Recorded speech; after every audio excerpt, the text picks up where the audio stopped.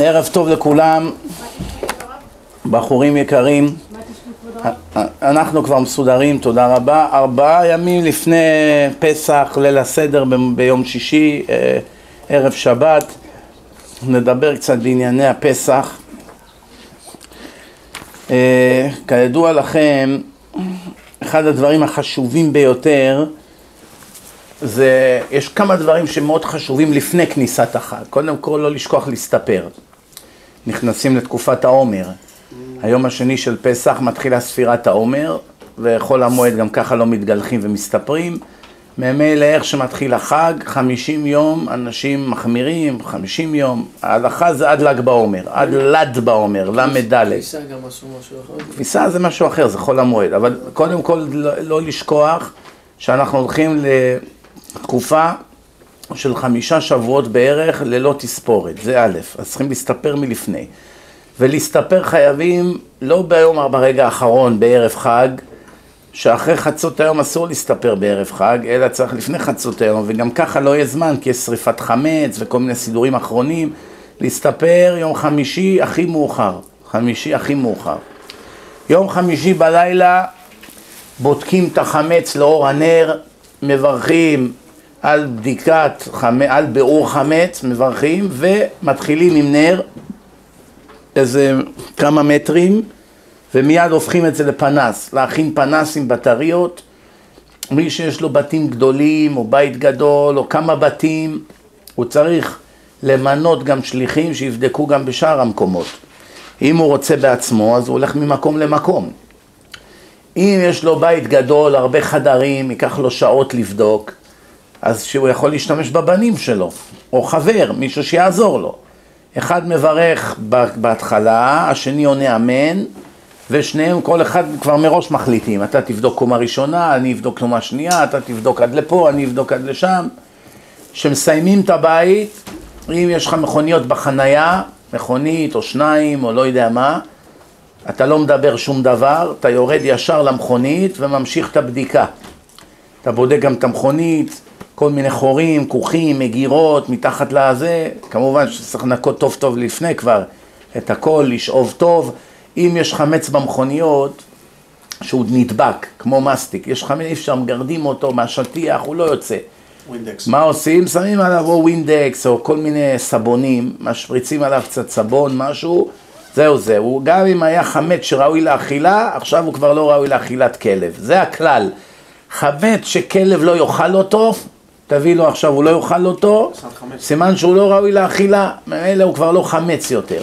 כדי להיות בטוחים, שמים עליו טיפה קצת סבון, משהו ונגמר. טוב, לגבי בדיקת חמץ, כמובן שבודקים טוב טוב. מקומות שאין סיכוי שהחמץ יגיע לשם, לא צריך להשתגע. יש לך איזה מזנון ענק, ארבע מטר, אה, אף אחד לא יכול להגיע מעליו לשים שם חמץ. זה לא... מקומות כאלה, החמץ, לא, גם אם יש ילדים בבית, הם לא יכולים להגיע כזה גבוה, יש מדפים למעלה, ארונות, כל מיני מקומות כאלו, עליית גג, מקומות שאף לא פותחים פעם בשנה אפילו, אז אפשר להקל בזה. אבל מקומות שיש סיכוי שחמץ יגיע לשם, צריך לבדוק טוב טוב. בערב חג, סוף זמן אכילת חמץ, ארבע שעות מזריחת החמה, אתה אוכל קצת בבוקר, אם נשאר לך עוד חמץ, אתה עוד יכול לאכול. אחר כך אתה כבר לא אוכל יותר. וצריך לקחת את החמץ, כתוב בלוחות באיזה שעה יש את השריפת חמץ, האדם ישרוף את החמץ. מי שגר באזור של בנייני מגורים, לא יודע, תל אביב, מנהטן, אין שם מקומות בדיוק לשרוף. יפורר את החמץ בשירותים, יפתח את המים טוב טוב והכל הלך. מי שמוכר חמץ לגוי, אני תמיד אומר עדיף לא למכור, מה פירוש? תגמור את כל החמץ, תאכל את העוגיות, את הלחמים, את הספגטי, תגמור את זה לפני הפסח. אם נשאר לך קצת אה, מקרוני, קצת עוגיות, בשביל כמה שקלים, חבל לסכן את הפסח. אבל אם יש לך הרבה בקבוקי וויסקי למשל, בקבוקי וויסקי יקרים, כל בקבוק 50 דולר, 100 דולר, 200 דולר, לא מסתבר שאדם יזרוק אה, מאות או אלפי דולרים לפח, אז אחד שכבר במילא מוכר כאלה בקבוקים, אז הוא כבר יכול כבר למכור את כל שאר החמץ, כן, אין הבדל. אתה כבר משאיר כמה בקבוקי וויסקי, אז גם אם נשאר לך גם ופלים ועוגיות וכל מיני דברים כאלו, אז אתה יכול כבר למכור את הכל ביחד לגוי. איך מוכרים? שמים הכל או בקופסה או בארון, שמים עליו דבק עם נייר, מכור לגוי, הולכים לרב של בית הכנסת של השכונה, יש היום גם דרך האינטרנט מכירה.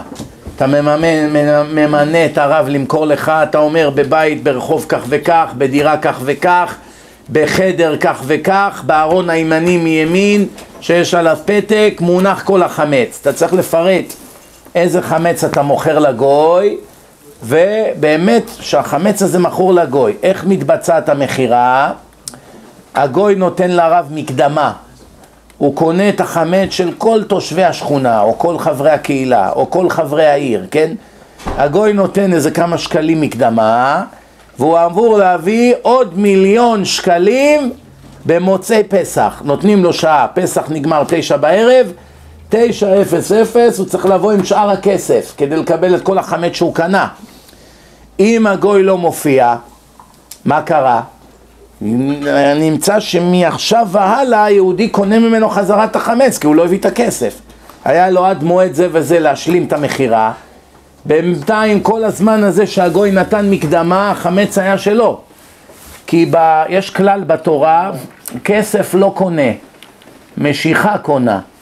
אני אסביר את עצמי. אם באת לחנות, נתת להם דולר מקדמה, והמכשיר שאתה קונה שווה 100 דולר. נתת לו דולר מקדמה, אתה אומר לו, המכשיר הזה שים לי אותו בצד, הוא שלי. ועכשיו בא מישהו אחר, אמר לו, אני אשלם לך על זה במקום 100 דולר, 120 דולר. והוא מכר לו את זה, אין לך שום טענה. למה? לא משכת את החפץ. זה ששילמת לא קנה לך את החפץ. מה קנה? אם עשית משיכה. למשל, אם זה מה שאתה קונה, אתה מגביה אותו, זה שלך. עכשיו, הוא שומר לך עליו בחנות. שתביא את שאר הכסף, הוא ייתן לך. אבל בעצם זה שלך. אם עכשיו תהיה שריפה בחנות וזה נשרף, אתה הפסדת, לא הוא. זה הלך לך. מובן? זאת אומרת, נתינת הכסף לא קונה, משיכה. הוא הסכים לתת לך את זה, הוא נותן לך את זה בהקפה. זה שלך כבר. אז החמץ שייך לגוי. ממילא אנחנו ניצלים כל הפסח, כל שנייה אנחנו ניצלים משלוש איסורים מהתורה. שני איסורים לאווים ואחד מצוות עשה. כתוב בתורה לא ייראה לך חמץ, לא יימצא לך חמץ, זה שני לאווים דאורייתא, ויש תשביתו שעור מבתיכם, שזה חיוב להוציא את החמץ מהבית. מי שלא הוציא את החמץ מהבית ולא מכר אותו לגוי, ממילא כל שנייה הוא נכשל בשלושה עבירות, שלוש עבירות מהתורה, שני איסורים ואחד מצוות עשה. שומעים? לכן זה מאוד מסוכן. שבעה ימים של חג, כל שנייה שלוש עבירות. כמה זה בשעה? נו מלמד, אתה מתמטיקאי. מיליון. כמה זה עבירות בשעה? שלוש בשנייה זה 180 בדקה. 180 בדקה כפול 60. כמה זה? 10,800. 10,800. שומעים? ראיתם? הלך לבית ספר למתמטיקה רק בשביל הדקה הזאת כדי לתת את התשובה. Just for that. ברוך השם. בקיצור, 10,800 עבירות בשעה. כפול 24, כמה זה מלמד? כפול 24, כן, 10,800 כפול 24, יש לך כבר איזה בערך רבע מיליון פה. בערך רבע מיליון, לא צריך להיות מדויקים. רבע מיליון בערך ליום. כפול שבעה ימים, כמה זה? כמעט שני מיליון. מיליון שבע מאות חמישים אלף. כמעט שני מיליון איסורים מהתורה בשבוע אחד של פסח על חבילה עוגיות מזופתת שהשארת בארון או איזה עוגיה, הנה העוגיה הזאת, ראיתם? תסתכלו טוב. כמה יש בעוגיה הזאת? 20 גרם חמץ, 30 גרם חמץ, לא יודע כמה. מאוד טעים. השארת את זה בארון, שומעים? כמעט שני מיליון איסורים מהתורה. ארון בלי למחור. אם באים עכשיו לאדם, באים לאיציק משנקין. אומרים לו, איציק, בוא תאכל חזיר איתי, בוא. מה יגיד איציק? לא. או שכן או שלא. רוב המקרים הוא יגיד לא. יגיד, מה, אתה לא מתבייש? אתה מציע לי חזיר, עוד לשבת פה במסעדה, לאכול את זה ברחוב? מה, אני לא יהודי? אבותיי לא נרצחו בגלל שהם יהודים? מה, אני עד כדי כך? הוא ייתן לך נאום, לא? מה, אני אמנם לא חרדי, אבל אני לא פחות טוב ממך, כן? ייתן לך נאום, בקיצור. ועכשיו אותו איציק, שנתן לך נאום על הסטייק לבן שהצעת לו, בעצם כל שנה בפסח משאיר ארונות מלאים בחמץ, אפילו אם הוא לא אוכל חמץ, הוא עצמו לא אוכל חמץ, אבל סתם סוגר את זה בארון, לא מכר לגוי, לא כלום. השאיר את זה בארון, נגמר לו הפסח, מיליון שבע מאות חמישים אלף סטייקים של חזיר, בלי לעשות כלום. על סטייק אחד של חזיר הוא כמעט שבר לך את העצמות, שומעים? אבל השאיר חמץ בבית, כמעט שני מיליון סטייקים של חזיר, בלי לעשות שום דבר. איך היו עושים אז? אז לא היו כזה דבר מכירות? בטח שהיה. מה עשו? מכרו לגוי. קודם כל אני אומר לך, אני לא מוכר. מה הפירוש לא מוכר? Of it. הכל אנחנו אוכלים לפני החג. אוכלים, גומרים הכל. נשארים כמה דברים, נותנים את זה למנקה, לגוי, לגוי בבנק, נשאר איזה חצי בקבוק, קח את זה וזהו. נגמר הסיפור. בשביל 50 דולר, 100 דולר לא כדאי להסתכן, זה א'. אמרתי, מי שהוא אדם עשיר, שהוא יש לו המון בקבוקים של וויסקי יקרים וזה, בסדר, זה קשה לדרוש ממנו להפסיד 2,000 דולר, אז ממילא הוא יכול למכור לגוי. אם כבר אתה מוכר לגוי, כבר אתה יכול למכור לו הכל. הכל, מה שיש לך, עוגיות, זה, זה לא משנה, כי אתה כבר מחזיק חמץ בבית. אז אתה מוכר את כל הארון לגוי. רבותיי, לא למכור את הכלים לגוי. להיזהר, אחר כך תצטרך לקחת את כל הכלים למקווה. לא מוכרים את הכלים. גם לא מוכרים את החמץ שיש בכלים. אין אף גוי משוגע בעולם שיקנה את החמץ שבעלו עליך בכלים. בואו נהיה קצת אמיתיים ונפסיק להיות מדומיינים. אם תמצא לי גוי אחד בעולם שתבוא אליו עם צלחת, צלחת מקרמיקה, צ'יינה, לא יודע, אתה בא אליו, מוחמד, בוא רגע, אתה רואה את הצלחת הזאת? שטפת אותה, יצאה מהמדיח. מוחמד, אני רוצה עכשיו שתיתן לי 20 שקלים ותקנה את החמץ שיש בצלחת הזאת. אז מוחמד יגיד, איפה יש חמץ? תגיד לו, זה נבלע שאני כל הפעמים שאכלתי ספגטי ומקרוני, אז קצת מהשומן של הפסטה נבלע בתוך הצלחת. אז יש שם נגיד אולי רבע גרם חמץ בלוע בצלחת, תן לי עכשיו כמה שקלים, תקנה את זה. מה יגיד מוחמד? אלה היהודים השתגעו לגמרי. מה אתה... הבנתם? הוא לא יבין מה אתה רוצה בכלל. מה עם הכלים שיש לך בבית, כלים של, של, שלא של פסח, של כל ה-year round, ואתה סוגר את זה? זה אין בעיה, אמרתי לך, אתה שוטף את זה טוב טוב טוב טוב טוב, אתה משאיר את זה בארון ואתה שם על זה מדבקה, לא לפסח, זהו. את הכל צריך לשתוק? הכל צריך שיהיה נקי, שלא יהיה עליו חמץ ממש. אם אתה משאיר כלים בכיור עם חמץ עליהם ונכנס לא, לא, הפסח. הכל נקי, הכל נקי. הכל נקי נגמר, לא צריך למכור. מה שכן, לא צריך למכור פסמים, לא צריך למכור קוסמטיקה, לא צריך למכור קרמים, איפור, כל דבר שתגיש אותו לכלב והכלב לא יאכל או ילקק אותו, כאילו שהוא מתאווה אליו, אין, הוא לא נחשב חמץ. גם אם יש בקרמים האלה חמץ, נגיד ששמים את זה בזמן שמייצרים את זה, שמים בזה קמח, לא יודע מה, חמישה סוגי דגן, כיוון שזה לא ראוי לאכילה, זה נפסל מאכילה. ממילא אף אחד לא יאכל את זה. גם אם אתה שם את זה בגוף, וזה נספג בעור, וזה נכנס לך לתוך הגוף, זה רעל, זה לא אוכל, אף אחד לא מי שיאכל את זה ימות.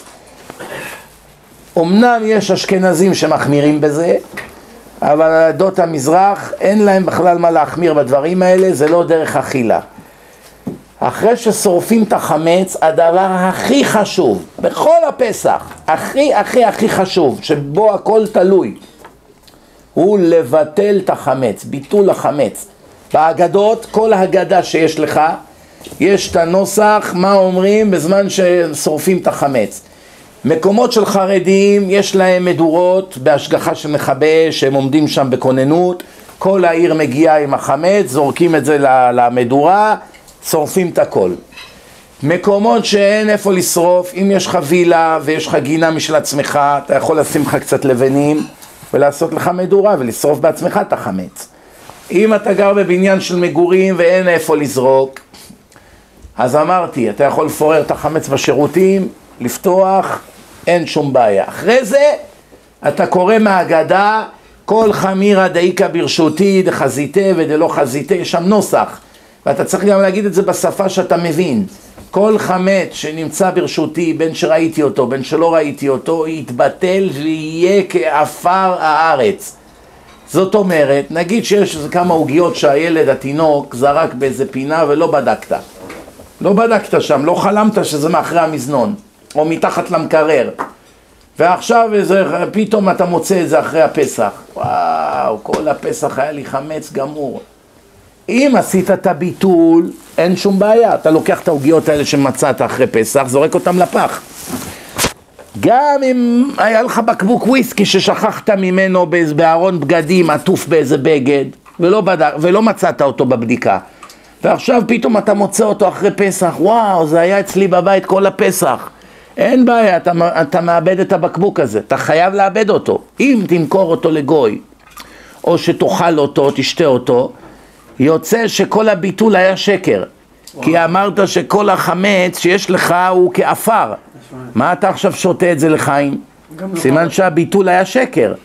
לכן אחרי שאמרת כל החמץ שנמצא ברשותי, כל חמץ שתמצא בבית אחרי שאמרת את הביטול, אתה חייב להתייחס אליו במאה אחוז כאילו שהוא חול, עפר. מה עושים עם חול? זורקים אותו לפח. מובן? בליל הסדר יש לנו ארבע מצוות, שניים דאורייתא, שניים דרבנן. שני מצוות מהתורה זה אכילת מצה ומצוות סיפור יציאת מצרים. אדם שיש לו בנים ובנות, הוא מספר לילדים בשפה שהם מבינים. מבינים עברית, מדברים איתם עברית. אנגלית, אנגלית. כל שפה שהילדים מבינים, חייבים להסביר להם בשפה שהם מבינים. תדבר בשפה שהם לא מבינים. למשל פה באמריקה, תקרא מהגדה בעברית, תתפלפל עם כל מיני תלמידי ישיבה שיושבים אצלך בשולחן ליל הסדר, והילדים הקטנים הם אמריקאים, הם לא מבינים עברית, לא יצאת לידי חובה. כתוב בתורה, והגדת לבנך. כן? הבן שלך, והוא גם ישאל אותך, ואתה צריך לענות לו, זאת אומרת, כל ההגדה צריכה להיאמר בשפה שהם מבינים. כמובן, אנחנו מתקדמים וקוראים מההגדה את כל הקטעים שיש בהגדה בעברית, ואחר כך עוברים לדבר בשפה שהילדים מבינים. אם יש אורחים שמבינים עברית אבל הילדים הקטנים לא מבינים, האורחים פחות חשובים מהילדים. אין מצוות חיוב סיפור יציאת מצרים לאורחים. יש מצווה לספר לבנים שלך. לבנים, לבנות, גם אשתך חייבת בשמיעת סיפור. גם נכד, גם לנכדים, כי כתוב בני בנים כבנים. זאת אומרת, גם אשתך, יש נשים, קוברים אותם במטבח כל הלילה. מה פתאום? מה, יש הרבה אורחים, בסדר. אז האורחים יחכו עוד רבע שעה לאוכל עד שיתחמם, או עד שישימו להם את זה בצלחות. בזמן שמתחילים לספר את סיפור יציאת מצרים, לפחות חלקים מזה, שהאישה תשב בשולחן ותשמע, כי יש, היא גם כן מחויבת לשמוע את סיפור יציאת מצרים. דבר נוסף, אז אמרנו, יש ארבע מצוות. שניים מהתורה, שזה אכילת מצה, תכף נסביר, ושניים, מדר, ושניים מדרבנן. אכילת מצה וסיפור יציאת מצרים זה מהתורה, ואכילת מרור וארבע כוסות של יין זה מדרבנן. עכשיו, יין, כדאי מאוד שיהיה רק יין, בלי מיץ ענבים, למי שיכול. מי שיהיה שיכור ויתעלף ויקיא וירדם, אז זה לא שווה, יצא שכרו בהפסדו, כן? אז שישים חצי יין, חצי מיץ ענבים. מי שגם חצי יין, חצי מיץ ענבים קשה לו, אז שישתה רק מיץ ענבים. אבל דבר אחד תדעו, כדי לא להתמוטט מארבע כוסות, אל תיקחו כוסות של גוליית, כאלה כוסות. כוס, הכוס הזה, כוס הזאת זה כמו שלוש כוסות במכה. יש כוסות זכוכית קטנות מאוד, שיש בהן 3.2 אאונס. כמה זה? 86 גרם. 86 גרם. כוס של 86 גרם. של הרב עובדיה זה שלוש ארץ, זה 81. 81. אני אומר כדי להיות בטוח. 90 something. 86 גרם זה שיטת רבי חיים נאי, זו השיטה המקובלת. יש שיטת החזון איש, זה יוצא 150 גרם. 150 גרם. מי שמחמיר, זה האשכנזים הבני ברקים, שהם הולכים בשיטת רבם החזון איש, שהיה גאון עולם, שהוא חידש חידוש שהשיעורים הם יותר ממה שחשבו, אף על פי שבמשך אלף שנה כולם השתמשו בשיעורים הקודמים, פתאום החזון איש עשה חישובים ועשה כל מיני מדידות והחליט שהשיעורים הם יותר גדולים ממה שחשבו. מי שהולך בשיטתו, יבושם לו. אבל אנחנו, במיוחד הספרדים, כפי שיטתו של הרב עובדיה והרב בן ציון וכל גדולי הספרדים עד הרמב"ם, אף אחד אצלנו לא נהג יותר, אצלנו כוס גימטריה 86, זה הכוס, 86 גרם. חצי 3.2 אאונס, שזה כוסות ממש קטנות, זה למשל כבר נחשב כוס גדולה. פה יש הרבה יותר מ-3.2 אאונס, אולי יש חמש, זה שיטת החזון איש, לפחות, אם לא יותר. זאת אומרת, אם הכוס היא, נגיד, כמעט חצי מזה, זה כבר מספיק. אז אם ת- ת- תשיג כוסות קטנות וצרות, שהן לא כל כך מכילות הרבה, אז אין בעיה לשתות ארבע כוסות יין, כי הכוסות הן קטנים. אבל אם אתה מביא כוסות של גוליית, מביא את העציץ, שותה בעציץ, כן? אז עכשיו, ברור, ברור, זה בקבוק יין שלם כל כוס. אז חכם עיניו בראשו, עדיף יין בלבד בלי מיץ ענבים. עדיף כוס קטנה של 3.2 אאונס או 86 גרם ומעלה, אבל ש... כלומר שכוס היא תכיל בתוכו לא יותר מדי יין, ותשתה רק יין, וגם יין שלא רובו מים וסוכר.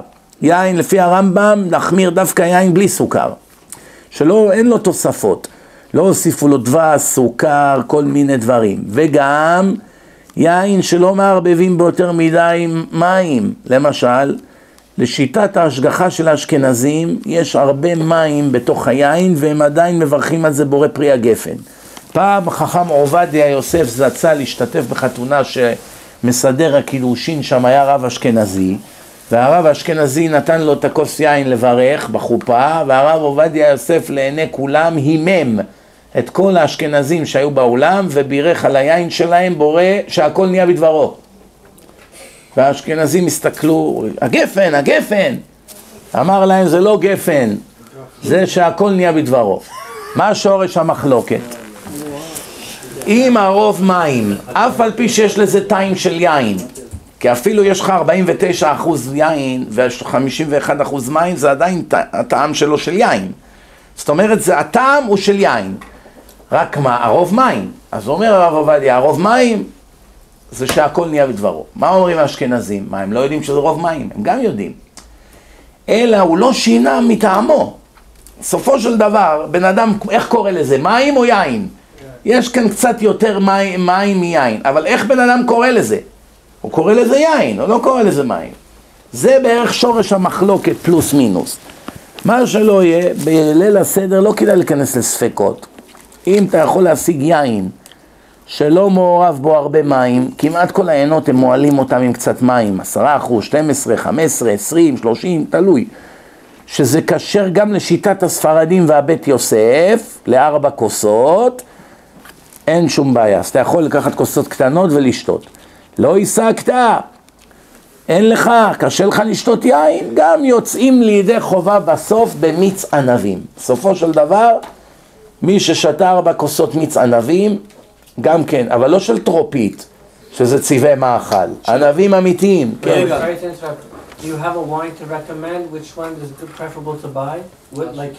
יש בקדם איזה סוג אחד שהם כל שנה מוכרים שאין בו סוכר, מוסיפים, והוא כשר, עוד פעם, אנחנו צריכים, הקדם זה, הש- קדם זה השגחה אשכנזית, קדם. So you... בארץ אין בעיה, בארץ יש השגחה של ספרדים. כתוב על זה מפורש, כשר לספרדים לארבע כוסות.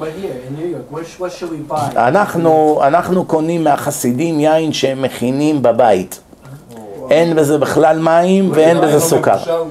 וזה לא מבושל. אז חסידים מוכרים, במונסי, בבני What ברק. the company called? Is there No company, homemade. homemade wine. כן. רגע, מיץ ענבים נחשב? אמרתי, בדיעבד, אם אתה שתית מיץ ענבים, ששש, יצאת לידי חובה. טוב, בואו נתקדם. רגע, יש- יש גם עדיפות ליין אדום ולא יין לבן. יין אדום, ודאי, טוב שהזכרת אה, את זה. כן, דווקא יין אדום, כן, יין אדום. אז ברטנורה לא נחשב? אני לא יודע, אני לא מכיר את כל הסוגים. צריך לשאול מישהו שמומחה ליינות. מומחיות ביינות זה לא התחום שלי. איך מתחיל הסדר? קדש ורחץ, כולם שרים ביחד. אחרי שהשולחן מסודר, נותנים לכל אחד מהאורחים שלוש מצות, עדיף מצות שמורות, עגולות, עבודת יד. אמנם זה הרבה הרבה יותר יקר ממצות מכונה שקונים בחנות בכמויות, אבל פעם בשנה כדאי להשקיע.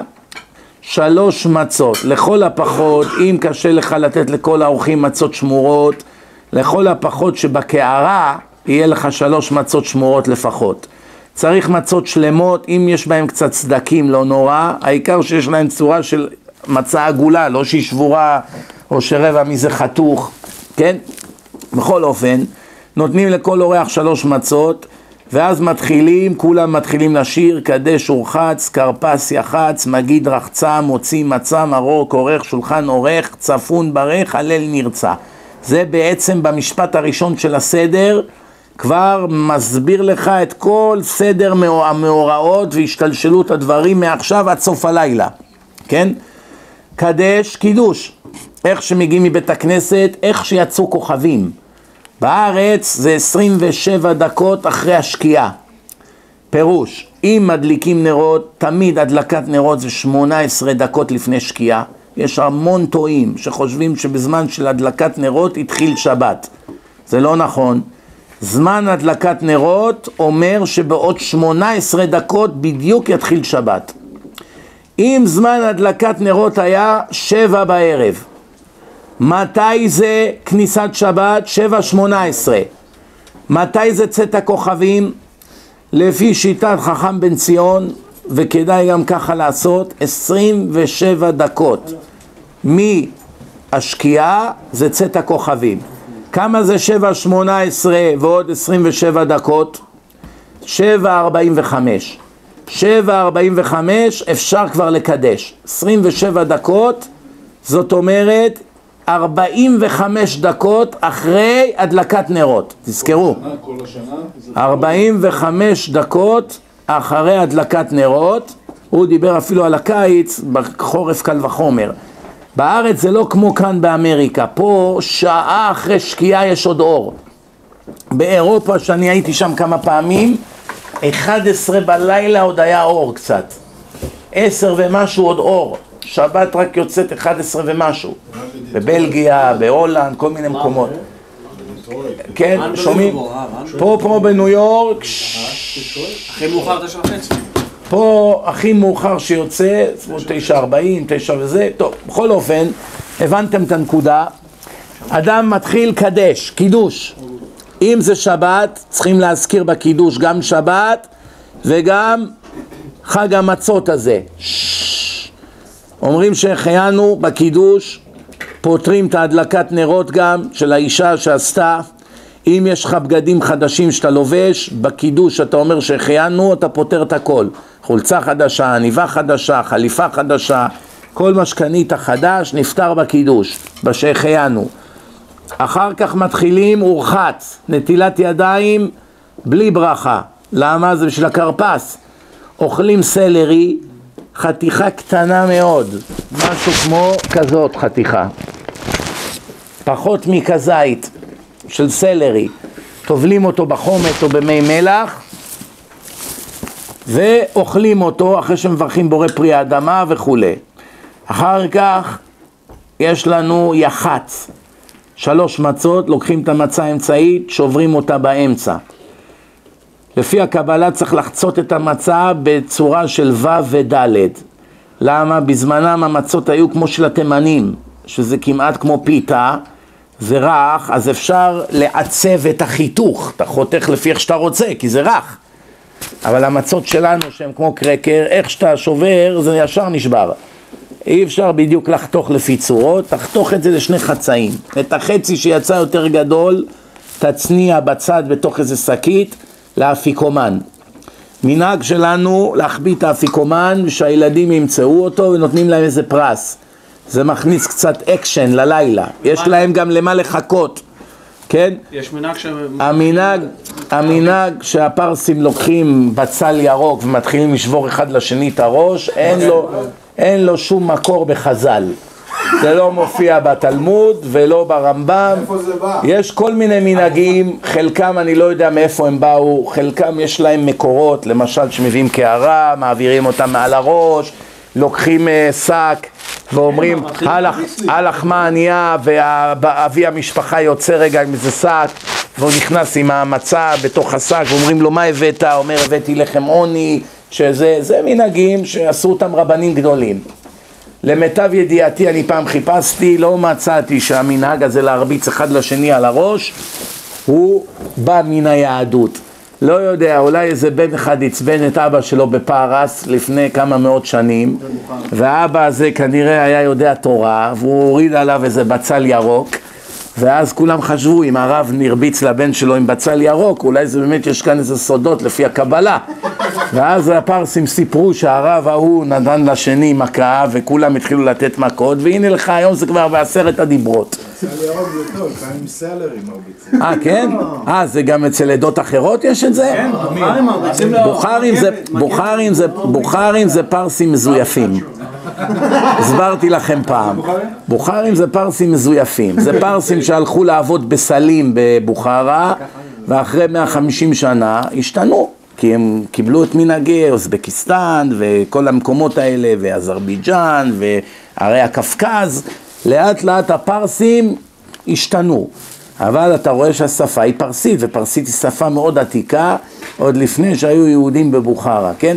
בכל אופן, אפשר להתווכח איזה אוכל יותר טעים ואיזה מנהגים יותר מעניינים, בסופו של דבר המנהגים הם מאוד דומים והשפה היא דומה והכל שם דומה. בכל אופן, אה, אמרנו, אה, אז יש לנו יח"צ, מצניעים את האפיקומן לסוף הלילה. אחר כך יש מגיד, מתחילים לספר את ההגדה. כל אחד בשולחן יקרא קטע והתלמיד חכם שנמצא בשולחן, אם זה בעל הבית, אם זה הבן שלו, אם זה איזה תלמיד ישיבה שיש שם, במקום שאין איש, ישתדל להיות איש. כדאי שיוסיף קצת הסברים לנוכחים מה מדובר בכל קטע וקטע בהגדה. אחר כך הגענו לרחצה, הקטע שכולם אוהבים, שעושים נטילת ידיים, כי מתחילה הסעודה, אחר כך נטילת ידיים עם ברכה, אחר כך המוציא, מה זה המוציא? אחרי שעושים נטילה, מחזיקים שלוש מצות, לא לשכוח, זה שתיים וחצי. המצה האמצעית היא חצויה, חצי ממנה שברנו, הוצאנו לאפיקומן. יש לנו שתיים וחצי מצות, מצה עליונה ותחתונה הן שלמות, מצה אמצעית חצויה. אדם מחזיק אותה, מברך, שם לו קצת מלח, מברך. המוציא לחם מן הארץ, משמיט את המצה התחתונה. יש לו עכשיו ביד מצה וחצי. את המצה התחתונה הוא הוריד. מברך אש- אשר קידשנו במצוותיו וציוונו על אכילת מצה, שובר את המצה העליונה שהיא שלמה לחצי, לוקח חצי ממנה ואת החצי התחתון שהיה לו כבר ביד, יש לו עכשיו שני חצאים, הוא יכול לשבור אותם לכמה חתיכות שיהיה לו יותר קל לאכול את זה, אוכל אותם בהסבה. מה זה הסבה? בליל הסדר חייבים להרגיש חירות. היינו עבדים, יצאנו לחירות. בזמנם היו יושבים על הרצפה ואוכלים. איך מלך היה אוכל? היו שמים לו כריות, היה לו איזה גביע של יין וצלחת, והוא היה נשען על הכריות ככה לצד, חייבים לצד שמאל, תכף אני אסביר למה לצד שמאל שלך, על יד שמאל שלך, הוא היה נשען על הכריות, מחזיק ככה את הצלחת ואוכל. למה צריכים דווקא לצד שמאל? שלא יקדים קנה לוושת. בגרון של האדם יש שני צינורות. צינור אחד שהאוויר עובר בו, כן? וצינור אחד שהאוכל נכנס בו, אוכל והמשכין. הצינור השמאלי, כלומר יד שמאל שלך, הצינור שהוא לצד של יד שמאל, הוא צינור שבו יורד האוכל. הצינור הימני הוא הצינור שדרכו עובר האוויר. לא צריך להסביר לכם מה קורה אם תיקח כמה גרגירים או בוטנים ותזרוק את זה בתוך הצינור ששם האוויר נכנס, מה קורה לבן אדם? הוא מתחיל להשתעל ונחנק. ולפעמים נכנסים דברים בצינור של האוויר וחודשים לא יוצאים משם. והבן אדם יש לו שיעול כרוני חודשים. למה? על דבר שנכנס שם. לכן צריכים להיזהר. כשאתה אוכל, תמיד להטות לצד שמאל. עכשיו, יש כאלה, אני רואה אותם כל שנה, שהם רוצים לאכול בהסבה, הם רק עושים ככה. בלי להישאל, רק מזיזים את הראש לצד שמאל. לא, זה לא נקרא הסבה. הסבה, אם יש לך כיסא שיש לו שני ידיות מהצד, שים עליו איזה כרית, שים ככה רגל על רגל כמו מלך, תישען על הכרית, תחזיק את הצלחת, תאכל ותשתה כל השתייה של כוסות היין וכל אכילת המצה בליל הסדר חייבים להיעשות בהסבה. הסבה שאתה נשען על צד שמאל. אם אין לך כיסא עם ידיות, אין לך כריות, אתה מתארח אצל מישהו, סובב את הכיסא שלך לצד ותישען ככה על השולחן, איך שאני עושה ככה בדיוק, תחזיק את הצלחת עם המצות ותאכל. איך אוכלים את המצה? לכל דבר יש חוקים. צריכים לאכול שיעור של שביעה. בתורה כתוב ואכלת ושבעת וברכת את השם אלוקיך. מתי הברכה היא מחויבת? ששבעת. אם אתה עדיין רעב, מה אתה מברך? אתה צריך לשבוע, ככה כתוב בתורה. מתי אדם שבע? כשהוא אוכל לפחות כזית תוך ארבע דקות. זה נקרא שיעור אכילת פרס. תוך ארבע דקות אכלת לפחות כזית, הרעב שלך התחיל להירגע, נרגע. כדי להיות על בטוח צריך כביצה. כזית זה 28 גרם, כביצה כפול, שני כזיתות זה כביצה אחת, 56 גרם. באנגלית, כזית זה 1 אאונס, אאונס אחד, כביצה זה 2 אאונס, זה לא הרבה, זה כלום. למשל העוגייה הזאת היא כזית כבר, זהו, זה כזית, יש פה 28 גרם לפחות, אולי 30, אולי 32. שניים כאלה זה כבר כביצה, כמות כזאת. עכשיו המצות הן דקות ושטוחות, אם אתה תפורר אותן, הן בערך כמו שני העוגיות האלה, מצה אחת שלמה עגולה, מבחינת משקל. לכן שימו לב טוב, אתה יושב בשולחן, מחזיק שלוש מצות, שניים, העליונה והתחתונה הן שלמות, האמצעית היא חצי. אתה מברך, דבר ראשון, אתה מברך המוציא לחם מן הארץ, אף על פי שאתה מחזיק מצה, זה הלחם שלך בפסח, משמיט את המצה התחתונה, מברך על אכילת מצה, חותך את המצה העליונה לשניים, לוקח חצי מהמצה העליונה, חצי מהתחתונה, שובר את זה לכמה חתיכות, נשען על צד שמאל ואוכל תוך ארבע דקות. צריך למהר באכילה, שתוך ארבע דקות תגמור. אם ממש קשה לך, אפילו שש דקות בדיעבד גם כן טוב. תסתכל על השעון, תמדוד, לא לדבר, לא לצחוק, לא זה עושה רעש, כל מיני בדיחות, כל שנה זה חוזר על עצמו. ליל הסדר אין זמן לבדיחות, אין זמן לצחוקים, אין זמן להשתת... להשתתויות. אל תשתתה, אל תהיה שותה, אין זמן. יש כאלה סיגריה, יוצא, נכנס, זה, רוצה קפה באמצע.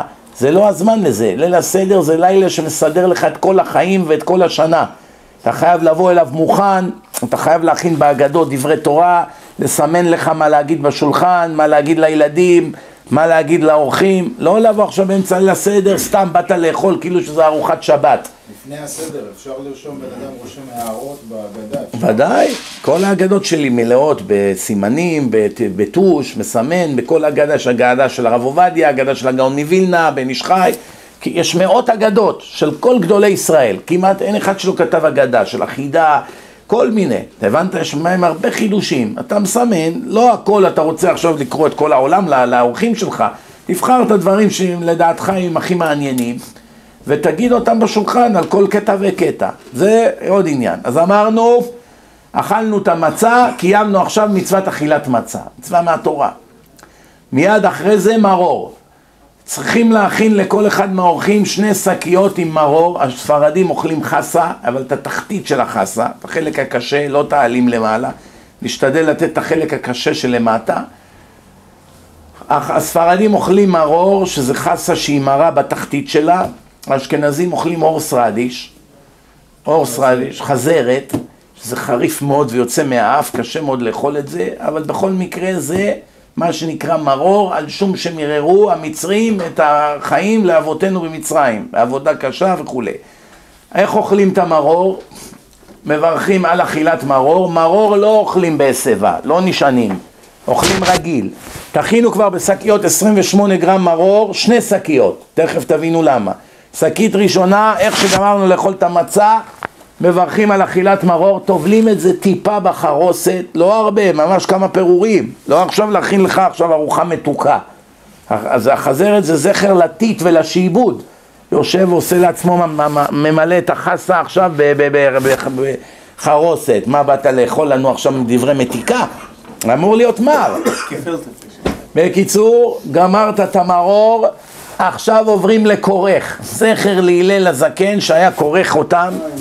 כן, סנדוויץ'. עכשיו איך עושים את זה? שימו לב, זה כן צריך לעשות בהסבה כי זה עם, עם, עם מצות. אז לוקחים, לא לשכוח מהמצה העליונה, נשארה לנו עדיין חצי מצה, שחתכנו אותה, נכון? באכילת מצה אכלנו את החצי. נשאר לנו עדיין חצי מצה על הצלחת. שוברים אותה לשני חצאים, אז יש לך רבע מצה ורבע מצה, כן? לוקחים את השקית השנייה עם המרור, עם החסה, שמים את זה בפנים, עושים סנדוויץ'. פה אתה כבר יכול לשים יותר חרוסת אם אתה רוצה, שים קצת חרוסת, עוד פעם בהסבה כמו שאמרתי, ואומרים זכר להלל הזקן, הזקן שהיה כורך אותם ואוכל אותם ככה ביחד, ואוכל את זה גם כן תוך ארבע דקות. אז קיימנו את כורך, שזה סנדוויץ', כן? מה אחרי זה? שולחן עורך, מתחילה הסעודה. עשית המוצי, אכלת כביצה למצה, עכשיו אתה יכול לאכול. רבותיי, כולם עושים את אותה טעות. התאווה והקנאה והכבוד מוציאים את האדם מן העולם. תאווה, כל סוגי התאווה. תאוות ממון, תאוות נשים, תאוות כבוד, הכל. אבל אנחנו עכשיו מדברים על תאוות אוכל, תאוות אכילה, שזה אבי אבות הטומאה, שזה ממש הורס לאדם את כל החיים, מי שכל הזמן אוכל ומחפש מטעמים ומה זה וכולי, שומעים? שמעו טוב טוב מה אני אומר לכם, יש תאווה גדולה, נשים בדרך כלל, לפעמים זה מתוך שוויץ, שרוצות להשוויץ, עושות עשרים סוגי אוכל, אורס כזה ואורס פרסי ואורס בוכרי וצהוב וצימוקים ומביאים עופות ובשרים וכבשים ועגל ומה שאתה רק רוצה. אסור לאכול, צריך לאכול ממש טיפ-טיפה בשר, לצאת לידי חובה של אכילת בשר בחג, שכתוב ושמחת בחגיך, זה בשר ויין, יין במילא שותים, אוכלים בשר לכבוד החג, לא לכבוד הכרס. למה? כי בסוף הסעודה צריך לאכול עוד כזית אפיקומן. עכשיו, מה זה חשוב? בסדר, אני אוכל גם את האפיקומן. לא, לא, לא. אם אתה תהיה מפוצץ מהסטייקים ומהעופות, אז אתה כבר מפוצץ באוכל. אתה כבר לא יכול להכניס אפילו פירור. עכשיו תכריח את עצמך לאכול את החצי מצה ששמת לאפיקומן, זה נקרא אכילה גסה, זה לא נקרא אכילה. אם אונסים בן אדם לאכול נגד רצונו, זה לא נקרא אכילה. אין כזה דבר. זה אכילה, צריך שלאדם יהיה תאווה למאכל. מה אם יש משפחות שבליל הסדר רק אה, יש להם אה, עוף? אז אוכלים מרק עוף ואורז, זה. גם טוב מאוד, אמרתי. כמה שפחות. אני כל שנה מתחנן לאשתי, אל תכיני. רק סוג אחד בשר, זהו. מדברים לקיר. נשים, יש להם את התאווה הזאתי לבשל, כי הן כל הזמן פוחדות שלא יספיק. אבל הן לא מבינות שבליל הסדר עיקר האכילה זה דווקא המצה והמרור, בשביל זה צריך להשאיר מקום בבטן. יש כאלה, הבטן שלהם זה צוללת דקר. אפשר להכניס שם חצי אוקיינוס. Yes, we called him big guy. אני יודע מה, תקרא להם לוויתנים, תקרא להם מה שאתה רוצה. אז אין אצלם בעיה. אז אחד כזה אוכל ומבלע ומבלע, ובסוף אתה יכול לתת לו גם כן עוד 17 מצות. על אלה אני לא מדבר, בסדר. אבל אדם נורמלי, עכשיו הוא כבר אכל 56 גרם מצה. אכל 56 גרם חסה, כן? הוא כבר שתה יין, שתי כוסות, אז זה כבר ממלא את הבטן.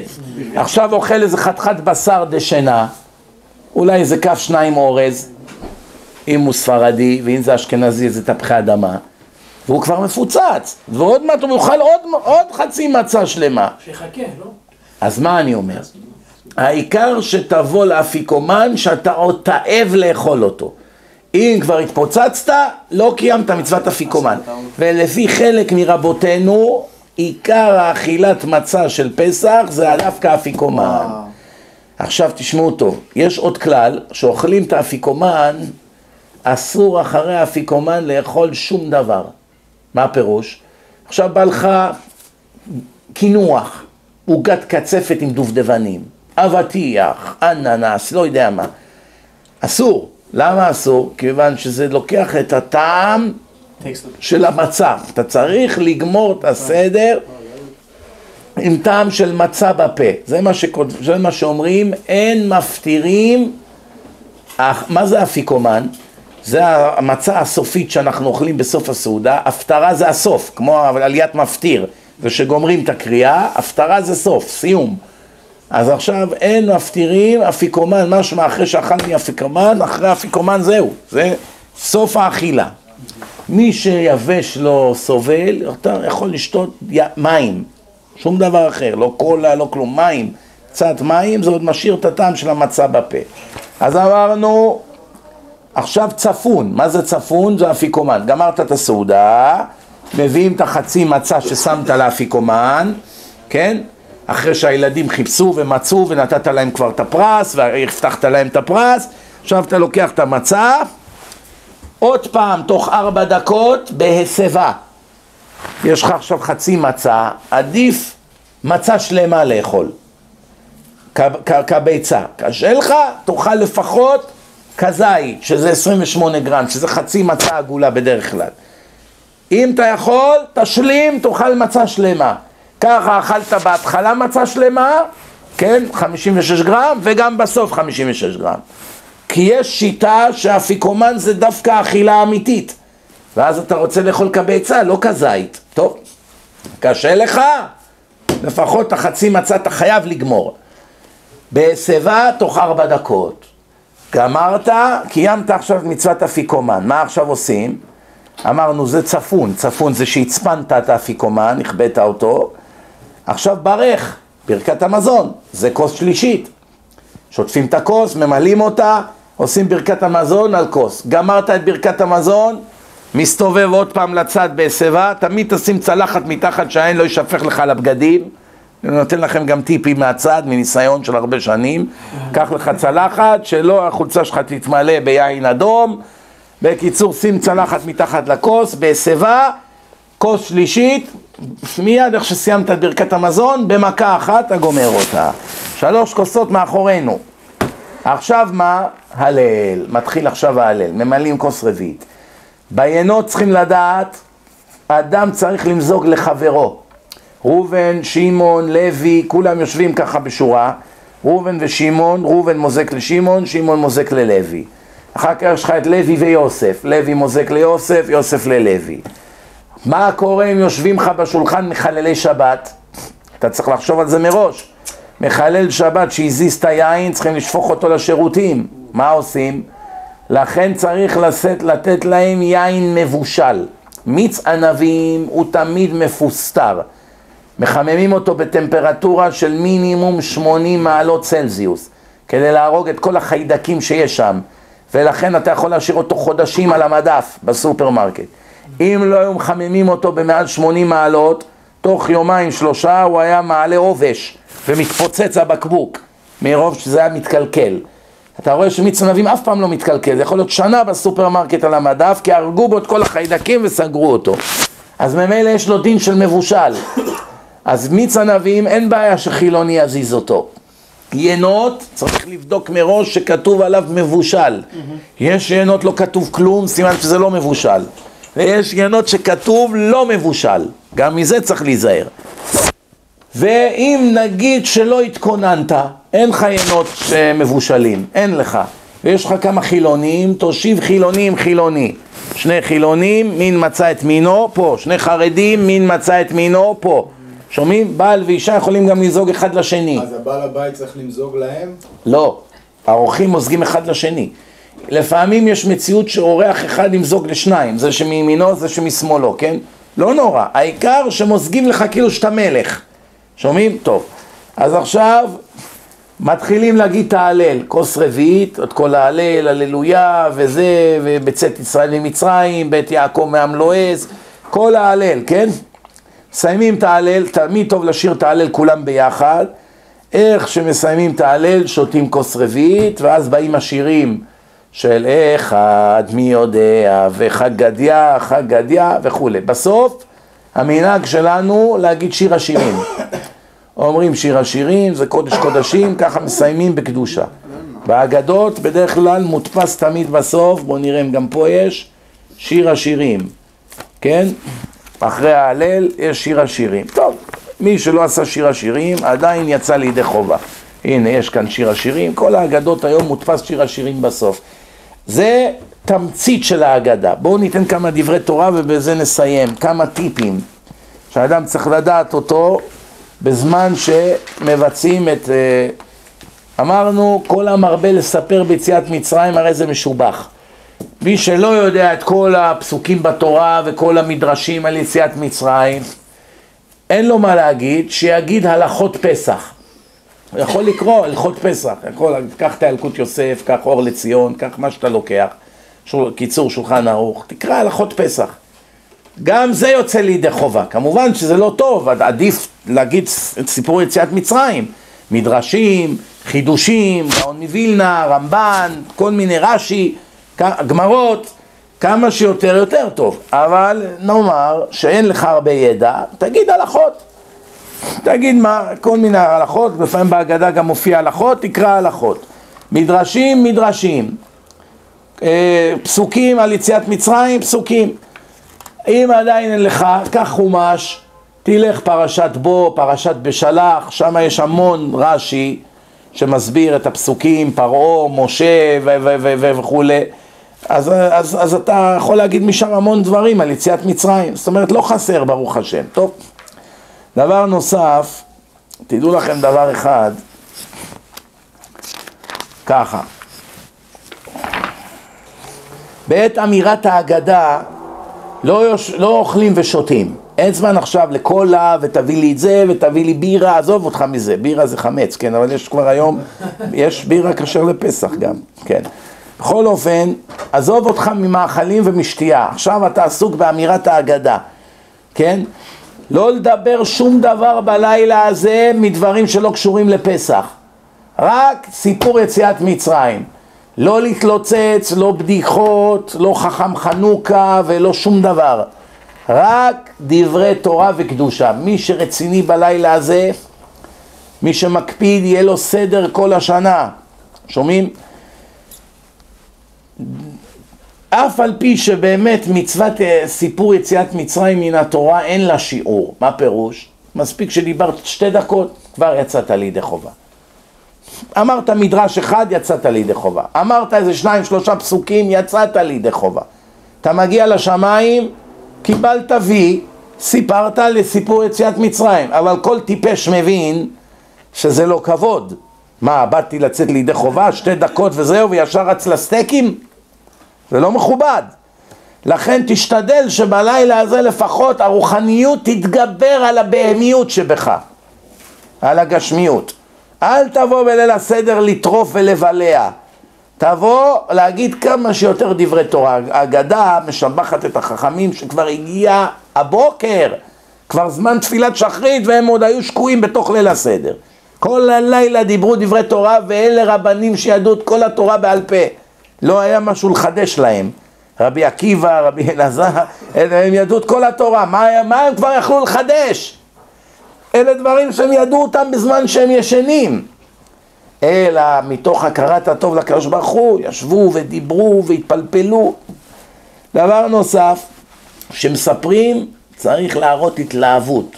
אם הילד שלך רואה שאתה קורא את זה יבש, כשאתה קורא ספורט ושטויות וכדורגל וההוא נתן בעיטה מימין וההוא הגביה וזה מלך השערים, העיניים שלך יוצאות מרוב התלהבות. אבל כשאתה מדבר על זה שהשם הציל אותנו משואה נצחית שהיינו עובדים לנצח נצחים בחמישים שערי טומאה במצרים, פתאום אתה, נו נו, אתה, הסטייק כבר מוכן האוכל? מוכן? תגמור משה, תגמור מהר, רעבים. כן? כמו בהמות, בושה עלינו, איך נהיינו, בעלי חיים. שומעים? הרי כתוב תעבדון את האלוקים. בצאתכם ממצרים תעבדון עם נון. מה זה הנון הזאת? רמז שהייתם עוד שנייה שוקעים בחמישים שערי טומאה. נון זה חמישים בגימטריה. אוטוטו הייתם כבר שוקעים בחמישים שערי טומאה, גאלתי אתכם ברגע האחרון. שומעים? תדעו לכם שעיקר הסיפור של יציאת מצרים זה לילדים שלך, אני חוזר על זה, לא לאורחים. יש לך אורחים חשובים, זה לא משנה הרב הראשי מתארח אצלך. הלילה החיוב מהתורה והגדת לבנך ולגרום לילדים לשאול שאלות. יש כאלה אומרים לילדים מי שישאל שאלות טובות, כל שאלה ניתן לו, אני יודע מה, 20 שקלים, לא יודע מה. מתנה לחול המועד. שווה להם. למה הילדים מתערבים בסדר? כדאי לתת לילדים לישון ערב חג, שעתיים שלוש, שלא ירדמו לך בתשע בערב, עוד לא גמרת קידוש, הוא כבר נוחר לך בכיסא.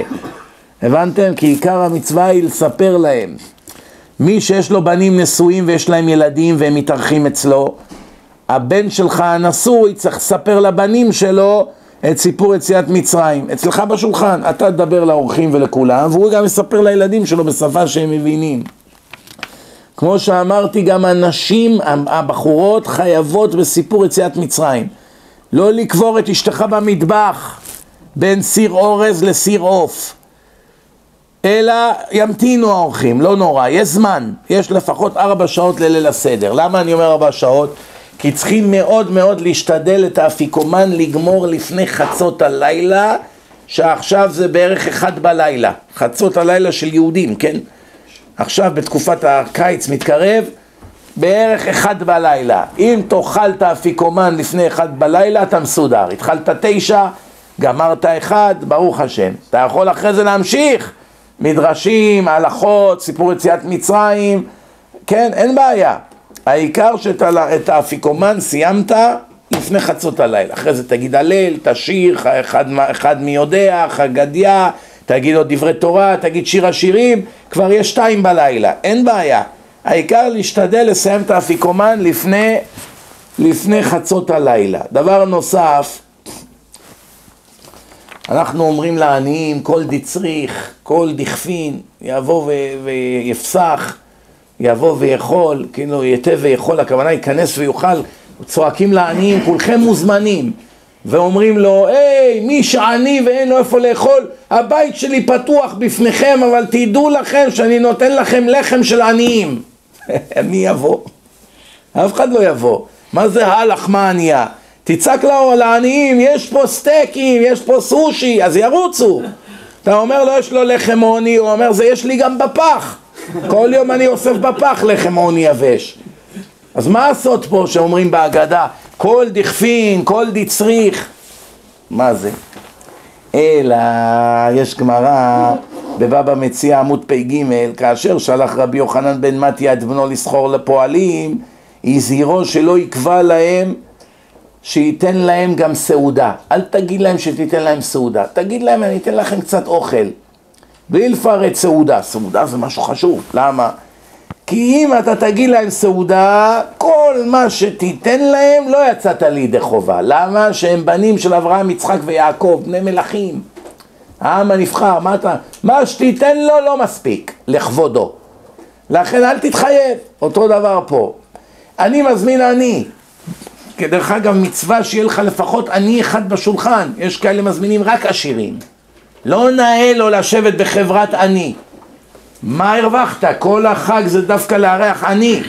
אתה מצהיר כל עני יבוא ומוזמן ואין לך אף עני בשולחן, רק עשירים הזמין. מה זה עני? יש כאלה אומרים, אבל כבוד הרב, אני לא מכיר אף עני. אני גר בשכונת יוקרתית, כולם וילות פה, משפחה, ברוך השם, כל האחים הצלחנו. לא מכיר עניים. אין לי בעבודה עניים, אין, אין לי, מה אני סתם אביא על אדם זר? תביא תלמיד ישיבה. אפילו שהוא לא בהכרח עני, אולי הוא בא מבית בסדר, אבל תלמיד ישיבה אין לו כסף בשביל עצמו, הוא לומד. תביא חייל. חייל גם כן עני, מה, מה משלמים לו כבר בצבא? הבנתם? אפילו שאבא שלו נותן לו דמי כיס ברמה מכובדת, זה לא שלו.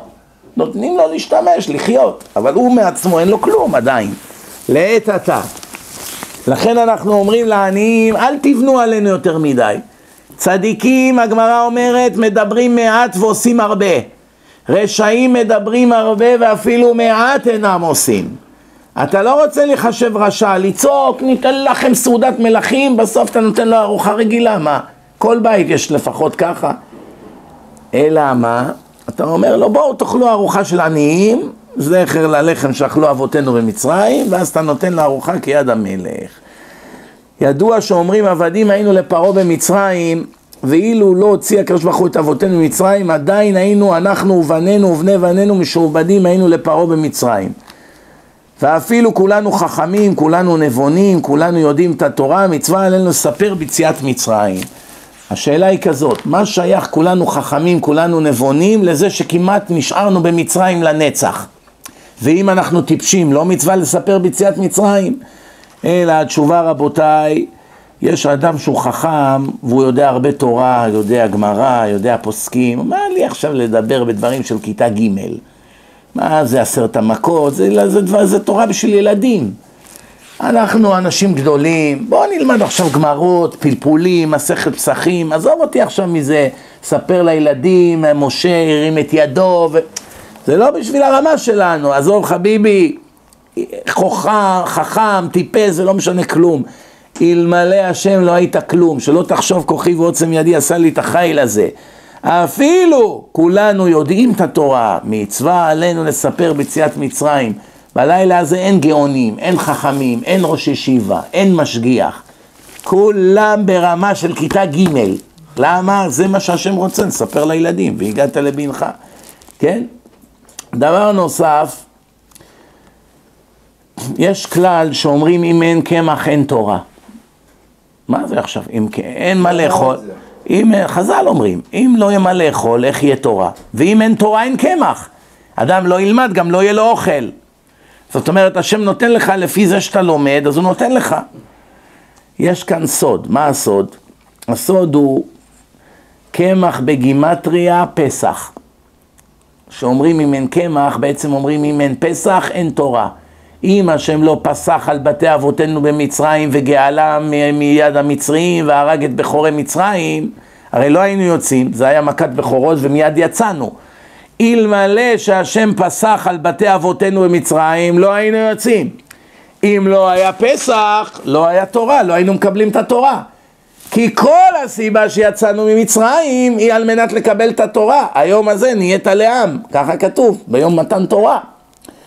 מה זה אומרים כל יום בתפילה וזה, קוראים קטע מהתורה? אני השם אלוקיכם, אשר הוצאתי אתכם מארץ מצרים, למה? ללכת למשחק של ביתר. בשביל זה הוצאתי אתכם ממצרים. זה לא כתוב בתורה. להיות יהלומן בבורסה. רוצה? אה, כן, בשביל זה הוצאת אותי ממצרים? לבדוק יהלומים? יפה מאוד. אני הוצאתי אתכם מארץ מצרים שתהיה שמאלני אוהב חמאסניקים ומכפיש חיילים שמוסרים נפש להגן על המדינה. אוי לך חייל, הרגת את אחמד הרוצח, אוי לך, נתלה אותך. בשביל זה הוצאתי אותך ממצרים. מה זה השטויות האלה? יש רק סיבה אחת למה הסכמתי להוציא אתכם ממצרים. אני השם אלוקיכם, אשר הוצאתי אתכם מארץ מצרים להיות לכם לאלוקים. זה הסיבה. בשביל שאני אהיה אלוקים שלכם ואתם תשמעו בקולי. ואם לא, לא רק שלא הייתי מוציא אתכם ממצרים, אין לכם זכות לחיות בכלל. כל הסיבה שאתם חיים זה אך ורק עבור התורה. אתה רוצה להיות ג'ון? אתה רוצה להיות כל מיני גויים למיניהם? לחקות את הגוי ההוא ואת הגויה ההיא? לא מעוניין בך בכלל. בכלל זה נס שאני עוד נותן לך חמצן, אבל אל תדאג, אתה תשלם על החמצן הזה ביוקר. בסוף אתה תשלם על כל שעה שקיבלת חמצן, מה חשבת? אני אתן לך חמצן ואתה תכתוב נגד רבנים באינטרנט, בכוח הזה שאני נותן לך, אתה תשתמש בזה נגדי, תבזה את התורה, תעשה דפים נגד התורה שלי, נגד התלמוד, נגד הרמב"ם, נגד הח- ח- חז"ל, תעשה צחוק ממחזירים בתשובה, בשביל זה אני נותן לך חמצן, טיפש מטופש. עכבר כבר עדיף עליך, עכבר לפחות לא פושע. עכבר הוא לא פושע. גם זה שהוא הולך וגונב בצק כל מקום שהוא רואה, הוא לא, נחש... הוא לא נשפט על זה. מותר לעכבר לגנוב. עכבר מותר לו לגנוב חמץ, אין לו בעיה, בר עד, זה אוכל מהעיסה. אין לו בית דין של מעלה לעכבר, למה אכלת מהבצק? למה? הוא לא פושע. אריה שרצח כבשה, או רצח איזה, אני יודע מה, איזה, איזה זברה, יש לו בית דין של מעלה? יש לו ארבע מיטות בית דין? שום דבר. אף אחד לא אכפת לו שהאריה, בשמיים לא דנים את האריה. יהודי על הרהור דנים אותו, הרהור של עבירה. קל וחומר על עבירה וקל וחומר על איסורי כרת וקל וחומר על אפיקורסיות וכפירה. כל הסיבה שהוצאתי אותך להיות לכם לאלוקים. אתה לא מקבל אותי לאלוקים עליך, אתה מורד בי, פושע נגדי, נלחם בי. למה אני לא הורג אותך מיד ומכניס אותך לגיהנום לנצח, כמו שאני עומד לעשות לך בקרוב? כי אני לא מתערב בבחירה. תן לך לחגוג, בסוף אני אביא אותך במשפט, מה? למה הדבר דומה? למה הדבר דומה? סיפר איזה חייל אחד שהיה בשבי המצרי, נשבע במלחמת יום כיפור, רמי קראו לו. הוא אומר שהמצרים היו מתעללים בו, שהגיעו, הוא הגיע לסעיף נפשי.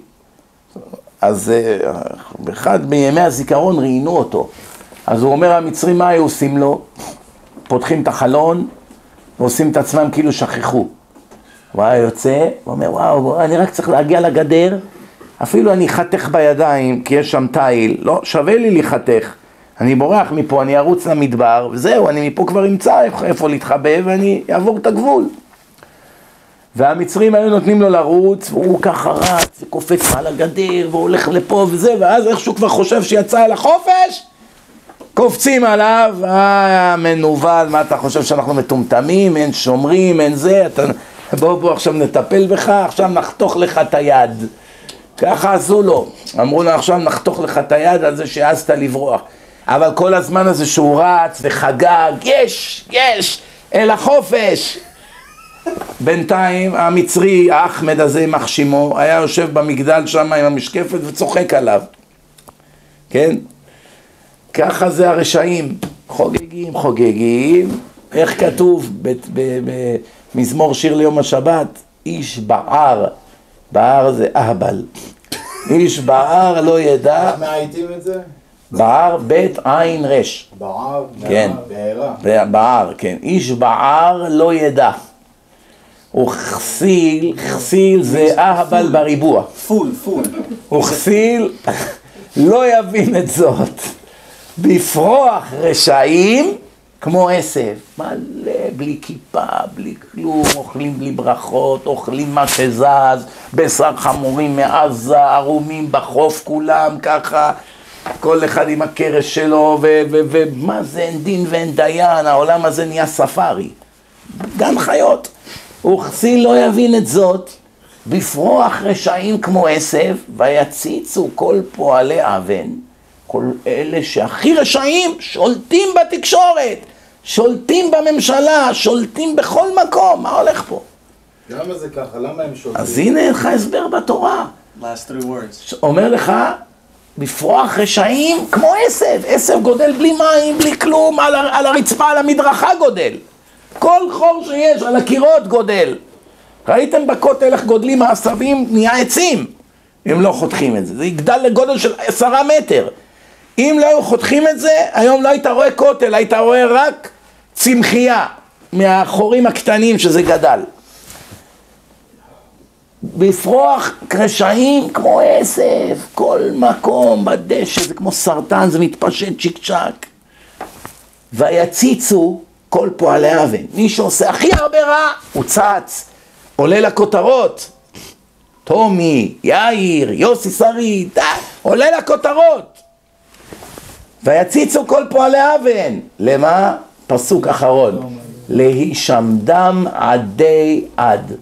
רגע לפני שאני אשמיד אותם לנצח נצחים וישים אותם במקומות שאושוויץ לא מתקרב למה שעומד לקרוא לרשעים האלה.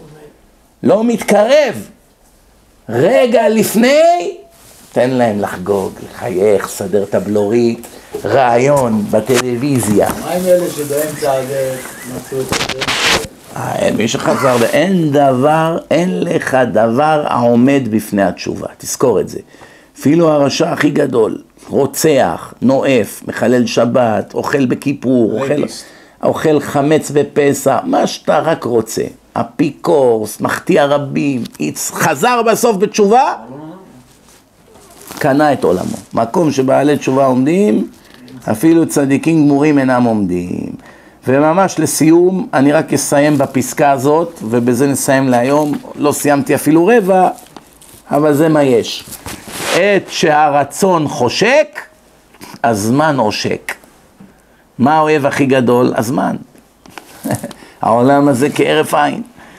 אמר רבי אלעזר בן עזריה, זה קטע בהגדה, הרי אני כבן 70 שנה, הוא היה בן 18 אם לא ידעתם. בעולם לא קרה כזה תקדים ששמו נער בן 18 להיות נשיא ישראל. אבל זה לא נשיא בדור שלנו. היום ילד בן 18, תלמיד ישיבה מבריק, כמו שהיה הרב עובדיה בילדותו, הוא יכול להיות נשיא בקלי קלות, הוא יודע המון תורה, הוא גאון, מגיל 4-5 הוא לומד בלי הפסקה, מיום ולילה 20 שעות ביום. בסדר, זה אדם גדול. אף על פי כן אף אחד לא ישים ילד בן 18 להיות נשיא. כי יש רבנים בני 80, 90, 70, 100, איך ייתנו לילד הזה להיות נשיא? נשיא של החכמים? נשיא מועצת התורה? קל וחומר אז, שהיה לך אנשים כמו רבי עקיבא, רבן גמליאל, מחיי מתים, וילד בן 18 מינו אותו להחליף את רבן גמליאל, נשיא. מה הוא אומר עכשיו? שמעו מה הוא אומר. הרי אני כבן 70 שנה, ולא זכיתי שתאמר יציאת מצרים בלילות. עד שדרשה, כוונה דרש אותה, עשה דרשה, בן זומה, שנאמר, למען תזכור את יום צאתך מארץ מצרים כל ימי חייך, זה פסוק בתורה. מה זה כל ימי חייך? יש פה מילה מיותרת. למען תזכור את יום צאתך ממצרים כל חייך. מה צריך כל ימי חייך? יש פה מילה מיותרת. גם החיים פה, גם החיים שם. לא, אז אומר, ימי חייך זה הימים בלבד, בלי הלילות. כל ימי חייך, כל פעם שכתוב בתורה כל זה בא לרמו, לרבות. כל ימי חייך זה לכלול גם את הלילות. יום כולל, כולל הלילה. טוב, זה הדרשה שלו על הפסוק. חכמים חלקו עליו, חכמים אמרו, ימי חייך זה העולם הזה, ימי חיינו בעולם הזה, ימי חיינו 70 שנה, אם בגבורות 80 שנה, ככה כתוב בתהילים. ימי חייך זה העולם הזה, כל ימי חייך להביא לימות משיח, לרבות לכלול את ימות משיח. ימות משיח, העולם משתנה, תכף נראה מה. קודם כל יש כאן שאלה, מה זה הרי אני כבן 70 שנה? אתה בן 18. כתוב שביום שהוא התמנה, השם עשה לו נס, הוא התעורר בבוקר, הקדימה של הזקן שלו הלבין. ככה הוא כבר נראה הרבה יותר מבוגר, אז כבר התייחסו אליו ברצינות. מה אתה בא לתת לנו נאומים עכשיו, ילד אתה? אתה אפילו נכד שלי יותר מבוגר ממך, כן? אתה תגיד לחכמים מה לעשות? טוב, זה דבר ראשון. מה הסוד כאן? הוא גלגול של שמואל הנביא. שמואל הנביא נפטר בגיל 52. חזר עכשיו לעולם, הרי אני כבן 70 שנה, 52 של החיים הקודמים שלי ועוד 18 של החיים האלה זה 70 שנה. הרי אני כבן 70 בסך הכל, אני זוכר גם את כל התורה שלי מגלגול שעבר. הרי אני כבן 70 שנה, אל, ת, אל תקלו בי ראש. אמנם אני נראה ילד קטן ורזה בן 18, אבל כל מה ששמואל ידע אני יודע, זה א'. דבר שני, אני אומר לכם, מכל החיים שלי, מאז ועד היום, שמואל היה אלף שנה קודם. שמואל היה אלף שנה קודם, בתקופת דוד המלך. והוא עכשיו לפני אלפיים שנה, בתקופת חז"ל. כל הדורות שהייתי אז והיום, אף פעם לא אמרו את סיפור יציאת מצרים בערב. מה הכוונה? בתפילת ערבית. בקריאת שמע, אחרי שאומרים השם, אה, שמסיימים השם אלוקיכם אמת, זה הפסקה השלישית, נכון? שמע ישראל השם אלוקינו השם אחד, ואהבת את השם אלוקיך זה פרשה ראשונה, והיה אם שמוע תשמעו, זה פרשה שנייה, והפרשה השלישית זה סיפור יציאת מצרים, ויאמר השם אל משה דבר אל בני ישראל ואמרת עליהם ועשו להם ציצית על כנפי בגדיהם לדורותם ונתנו על ציצית הכנף פתיל תכלת והיה לכם לציצית וראיתם אותו וזכרתם את כל מצוות אדוני ועשיתם אותם ולא תטורו אחרי לבבכם ואחרי עיניכם אשר אתם זונים אחריהם.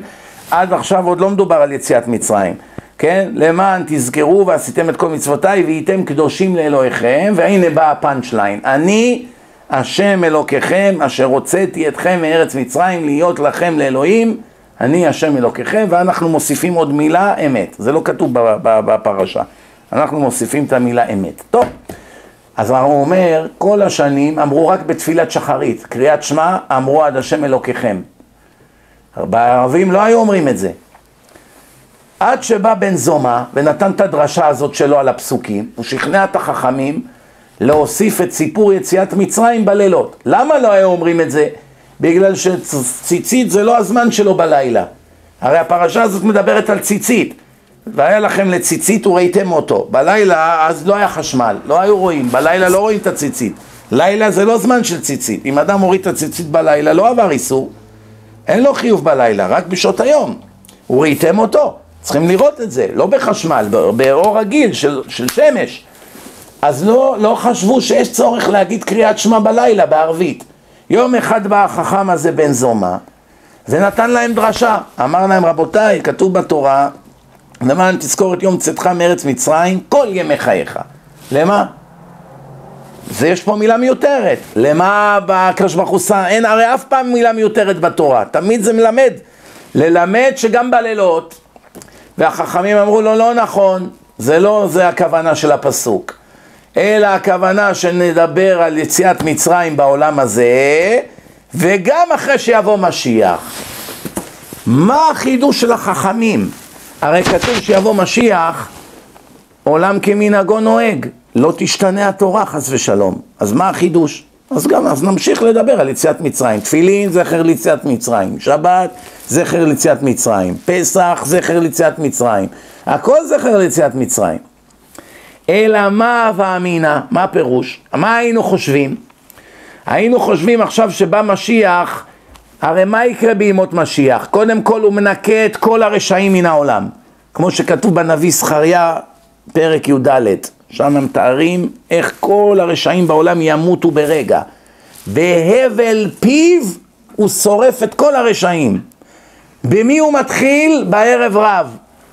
כל השמאלנים, כל הליברלים, כל השונאי דת, כל האוהבי חמאס, כל אלה שצועקים זכויות אדם בשביל ערבים רוצחי ילדים ושמגיע יהודי שומר מצוות הם יורקים עליו ומבזים אותו כל אלה צאצאי הערב רב שמשה גייר על דעת עצמו ובכל דור ודור סבלנו מהנשמות האלה של המצרים האלה שיצאו ממצרים נגד רצון השם, משה עשה על דעתו. כל דור ודור הנשמות השחורות האלה של המצרים מתגלגלות ביהודים רעים, יהודים, יהודים רעים, משה היה לו לב רחמן, הוא ריחם עליהם, הם התחננו לצאת, מצרים הייתה ארוסה מבחינה מנטלית, הם רצו להצטרף לעם ישראל, משה על, על לב הרחום שלו ריחם עליהם והוציא אותם. ואנחנו עד היום, כתוב בזוהר, שיבוא משיח, הם יהיו הראשונים שיצאו להילחם בו. היעלה על הדעת שעכשיו שומעים בחדשות שמשיח הופיע בהר הזיתים והגאולה התחילה ויהודים יצאו להילחם בו? איך ייתכן כזה דבר? אלא בכלל בכלל לא קושייה, ודאי שזה ככה יהיה. כל השונאי דת, כל השמאלנים, כל השונאי רבנים, כל אלה שבעיתונים כל הזמן עושים צחוק מהדת ובפייסבוק, הם מהכבוד ומהבושה שלהם לא יוכלו לסבול את זה שהחרדים צדקו. כולם בפייסבוק יעשו יד אחת, יצאו בהפגנה לירושלים, כולם להילחם בו. הכוונה, אתה לא תדבר פה. אתה לא, לא, כמו שעשו באוניברסיטה לכל מיני דרשנים, לא נתנו להם לדבר. צעקו, לא נתנו לדבר. למחבלים מהחמאס יש חופש ביטוי. לכמרים יש חופש ביטוי. רב רוצה לדבר, לא נותנים לו באף מקום. עם הר הזיתים ייפתח, מי? אלא מה, הם לא יודעים מה זה משיח. זה בדיוק מה שהזוהר אומר. הזוהר אומר איך שהם התלכדו כולם לבוא להילחם בו, למנוע ממנו. יביאו נשקים, יביאו מה שאתה רוצה. בהבל פיו הוא שורף אותם, הוא לא צריך לירות בהם, להביא פצצות, הוא מתחיל להגיד פסוקים, היא יוצאת אש, שורפת את כולם באש. תאר לך עכשיו עומדים אלפים, כולם בשנייה נשרפים באש. ומתחיל גוג ומגוג, וכל הרשעים בעולם, כולם נכחדים מן העולם. אחרי זה אין יותר רשעים, רק יהודים צדיקים וגויים צדיקים נשארו. אין רשעים יותר, ורשעים עוד אינם. ברכי נפשי את השם הללויה. אין יותר רשעים בעולם. שארית ישראל לא יעשו עוולה ולא ידברו כזב וכולי. הפלטה בהר ציון, יש הרבה פסוקים שמדברים על אלה שיישארו. אז עכשיו שיבוא משיח, אין יותר רשעים. הגאולה שהייתה במצרים זה צחוק לעומת הגאולה הזאת. כי במצרים קודם כל 80% מעם ישראל נכחד, לא יצאו, מתו במכת חושך כי לא האמינו בהשם. אז זה לא גאולה מושלמת, רק 20% נגאלו. וגם אלה שנגאלו עד היום סובלים. 3,300 שנה כל דור ודור עומדים עלינו לכלותנו והקדוש ברוך הוא מצילנו מידם. לא היה רגע שהניחו לנו. לא צאצאי עשיו ולא צאצאי ישמעאל. ולא הערב רב שבתוכנו. אין סוף בעיות, חורבן בית ראשון, חורבן בית שני, השואה, פוגרומים, אין סוף. אז איזה מין גאולה זאת הייתה? ביחס לגאולה שתהיה כשמשיח יבוא, זה צחוק. אז יגידו, שקט, אל תזכירו בכלל את יציאת מצרים. עד עכשיו לא היה לנו כלום. היה לנו מטבע מכסף. הנה, מטבע, זה מה שיש לי, מטבע מכסף. כיוון שאין לי כלום, זה דבר גדול בעיניי. בא אחד, הביא לי יהלומים, יהלום, הנה היהלום הקטן הזה, הנה, יהלום בגודל כזה, שתי קראט, עשרים אלף דולר. מטבע מכסף, עשרים דולר. כל עוד לא היה לי את ה-20 אלף דולר, היה לי רק את המטבע מכסף, כל היום מסתכל בו, וואו, איזה מבריק. פתאום הביאו לי יהלום. מהרגע שיש לי עכשיו את היהלום, אני בכלל נוגע בזה? לא. לא נוגע בזה, בושה, מה אתה מביא את זה בכלל לשולחן? אין, אה, אבל אני עשרים שנה מתרברב על זה. טוב, כי לא היה במה להתרברב. עכשיו נתנו לך יהלומים, מה אתה עכשיו מזכיר לנו מטבעות מכסף, כן? הגאולה של מצרים, חלילה מבלי לזלזל, זה דבר גדול, כי לא היה משהו אחר. עכשיו שהגאולה היא כל כך גדולה, כל כך מושלמת, אין יותר רשעים, אין יותר שמאל, שונאי דת, אנטישמים, חמאס, חיזבאללה, איראן, אובמה, אין יותר את זה. יש רק גויים צדיקים, אוהבי השם, אוהבי עם ישראל, שאומרים שבע מצוות בני נוח, אין עבודה זרה בכל העולם בכלל, אין שנאת חינם, אין יצר הרע, כולם רוצים ללמוד תורה, כמים לים מכסים, מלא הארץ דעה להשם, כמים לים מכסים, כמו שהאוקיינוס מכסה את כל העולם, את כל הארץ, ככה הארץ מלאה דעה להשם. עולם מושלם, לא צריך לעבוד, אין בעיות של פרנסה, אין מחלות, אין צער גידול בנים, אין לידות, אין כאבים, אין כלום. אין עיוורים, אין פסחים, אין בעלי מומים, איזה עולם, תנסו רגע לדמיין. כל הנפטרים מהגדורות שכולם קמו לתחייה, כל הצדיקים, כל התנאים, כל האמוראים, הארי הקדוש, דוד המלך, כל, כולם קמו, אברהם אבינו, אתה חי בעולם כזה, אז מה עכשיו יש לדבר על יציאת מצרים בכלל? זה ייראה כבדיחה. זה החידוש, זה התורה אמרה. דרך אגב, שלוש קללות הנחש התקלל. הנחש שהחטיא את אדם וחווה, אחד שהוא על גחונו הוא, הוא ישחל כל ימי, כל חייו, עפר תאכל כל ימי חייך, אחד קיצצו לו את הרגליים, שתיים שהוא יאכל כל מה שיאכל יהיה לו טעם של עפר, והקללה השלישית שהבני אדם ימשלו בו, כן? זאת אומרת שהוא ישופנו עקב והוא האדם ירוצץ את ראשו, שיש שנאה בינו לבין האד... בני האדם. שלוש קללות. שני הקללות האלה, שניים מהם שיבוא משיח ייגמרו הקללות. יש רק קללה אחת שכתוב כל ימי חייך בתורה. ועפר תאכל כל ימי חייך. בשני הקללות האחרות שהנחש קולל, לא כתוב בתורה כל ימי חייך. רק בקללה שהוא יאכל עפר כתוב כל ימי חייך. כמו פה בדיוק, מה זה כל? לרבות ימות משיח. ויש פסוק בישעיה מבהיל, ראיתי את זה, קיבלתי צמרמורת. שכתוב שהעולם השתנה אחרי כל שבא משיח, גאולה, והכל בא על תקנו, והשם תיאר את הארץ, והפסוק של הנביא נגמר, ונחש עפר לחמו. מה זה שייך עכשיו? אחרי שתיארת איך הקדוש ברוך הוא תיאר את העולם, והכל, כל דבר בא לתיקון שלו, דבר אחד נשאר. הנחש עדיין מה שאוכל זה כמו של עפר. מכאן רואים שחכמים כיוונו, כיוונו, כי גם אצל הנחש נאמר כל ימי חייך, כל לרבות את ימות משיח. ומה עם מה שבן זומא אמר? גם הוא צודק. גם להגיד את יציאת מצרים בלילות, מה הראיה שהוא צודק? הנה אומרים, היום בלילה אומרים, נכון? אלה ואלה דברי אלוקים חיים. אני מאחל לכולם חג שמח וכשר. כל מי שנזהר לא לאכול חמץ בפסח, הארי הקדוש כותב, מובטח לו שלא יחטא כל השנה. ראיתי איזה דעה שמדובר אפילו על חמץ שעבר עליו הפסח. שאחרי הפסח אתה הולך קונה חמץ, אל תקנה חמץ מיהודים שלא מכרו את החמץ שלהם, ממקום, מכל מיני סופרמרקט של חילונים שהשאירו את החמץ אצלם ועברו על זה איסורים ועכשיו אתה הולך קונה. למכור את החמץ. חייבים למכור את החמץ עד יום חמישי, עד הביעור חמץ. ללכת לרב, לתת לו כמה פרוטות, שימכור לך את החמץ, אתה צריך לשים את החמץ בארון סגור, את כל החמץ ולפרט שם מה מכרת לגוי. כיוון שהגוי לא מביא את כל הכסף עד מוצא פסח, אז אנחנו קונים ממנו חזרה את זה, כי הוא לא הביא את יתרת הסכום, ואנחנו קונים ממנו את החמץ בצאת החג, כן. אז אם יש אה, סופרמרקטים גדולים, או חנויות, מסעדות, שיהודים לא דתיים, אה, הם בעלי הבית, לא כדאי לקנות מהם, צריך לחכות איזה כמה שבועות עד שיגמר להם כל החמץ שהיה ברשותם בזמן החג ויביאו להם סחורה חדשה, אז כדאי לקנות מהם.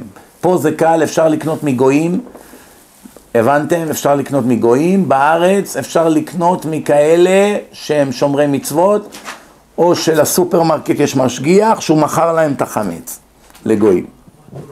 אבל סופרמרקט שמכר חמץ כרגיל בחג, סימן שהוא לא מכר את זה לגוי, הוא מוכר את זה ליהודים, שם ירחם. מי שאוכל חמץ בפסח זה עונש כרת.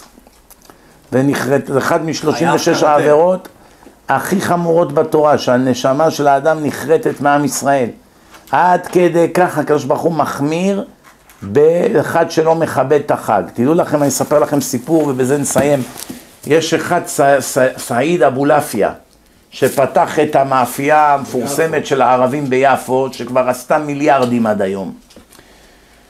ויום אחד בא אליו אחד הרבנים, אני חושב, אם אני זוכר נכון, זה היה הרב לנדה אולי, הוא היה הרב הראשי, אני לא זוכר בדיוק מי, מי אותו הרב שהיה, והרב אמר לו, אני מבקש ממך לסגור את המאפייה בחג הפסח. באים יהודים, קונים חמץ בפסח, אמר לו אבולעפיה, אתה יודע כמה כסף אני אפסיד בשבוע הזה? זה הרי ביזנס הכי משגשג בארץ, לפחות אז זה היה ככה. אמר לו הרב, כמה תפסיד? אמר לו לפחות מחיר של דירה. בשבוע הזה ממה שאני מרוויח, אני יכול לקנות דירה. אמר לו, אני כל שנה אשלם לך מחיר של הדירה הזאת. אל תפתח שלא יאכלו אלפי יהודים חמץ. הערבי הסכים. הוא שילם לו את הכסף, הוא סגר בפסח. אחרי כמה חודשים או שבועות, הערבי אמר לו, אתה לא צריך לשלם לי יותר. אני ראיתי ברכה משמיים. בגלל שסגרתי בפסח, הביזנס שלי הוכפל ושולש. אני לא זוכר, אני עוד פעם לא רוצה שתפסו אותי באי דיוקים, או שהוא החזיר לו את הכסף על מה שהוא שילם לו, או שמכאן והלאה הוא כבר לא הסכים לקבל כסף. אחד מהשניים. זה לא משנה, הרעיון הוא אותו רעיון. שהוא אמר, אני סוגר. ועד היום הם סוגרים כל שנה בפסח, למיטב ידיעתי. לא יודע, מאז אולי הוא נפטר, אולי הילדים שלו פתחו, לקחו את הביזנס, אבל למיטב ידיעתי, אפילו היום הם סוגרים כל שנה, שבוע ימים את הביזנס. ערבים, גויים. והאחים שלנו, יהודים ברחבי העולם, לצערנו הרב, לא רק שלא סוגרים, עוד מגישים חמץ ליהודים, בירות, וויסקי, פיצות, אילת, לא יודע, כל מיני מקומות של תל אביב, איך לא יכאב הלב. וגם אמרתי לכם, הרבה עושים את זה לא מרשעות, הם לא מאמינים. הנה יש אחד חבר כנסת עכשיו, קוראים לו יובל שטייניץ, הוא שר בממשלה. יובל שטייניץ, קפצו עליו השבוע כל החרדים, קטלו אותו. למה? הוא בן אדם, אני אומר לכם, למרות שהוא כופר, הוא לא דתי, הוא בן אדם מאוד מאוד ישר, מאוד. במה שהוא מאמין הוא ישר כמו סרגל. רק מה, צריך להזין אותו, את החומר מחדש, הוא מאמין בשטויות. אז הוא אמר השבוע, אני אוכל חמץ בפסח. באחד הרעיונות הוא אמר את זה. אז הוא פגע ברגשותיהם של הדתיים. אז קפצו עליו חברי כנסת, עיתונים חרדים, קטלו אותו. למחרת הוא בא, אמר רבותיי, אני מצטער, לא רציתי לפגוע באף אדם, אני לא בן אדם דתי. מה אתם רוצים ממני? מה, אני הצהרתי שאני דתי? לא. אני, מה, אתם לא יודעים שאני חילוני? מה, מה חשבתם, שאני שומר שבת? אני בן אדם חילוני. זו האמת שלי, ואני חי כחילוני, וחילוני, חל, חלק מהחילונים אוכלים חמץ בפסח.